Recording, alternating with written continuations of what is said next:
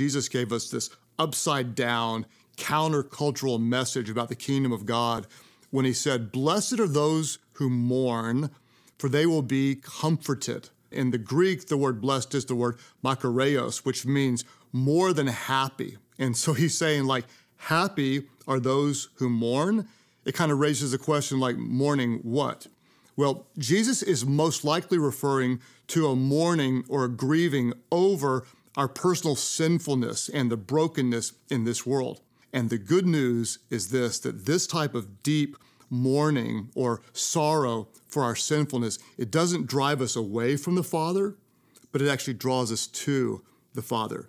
So don't worry if you're broken and hurting and grieving over your sinfulness. Worry if you're not. Consider today possibly just kneeling in repentance, crying out to your Father, and rise and go to Him.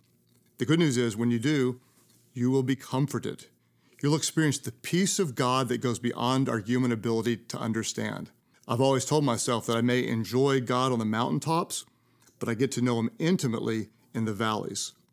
If you find yourself in a valley of tears over your sinfulness, I'm praying you experience the goodness and presence of God, the source of all our comfort.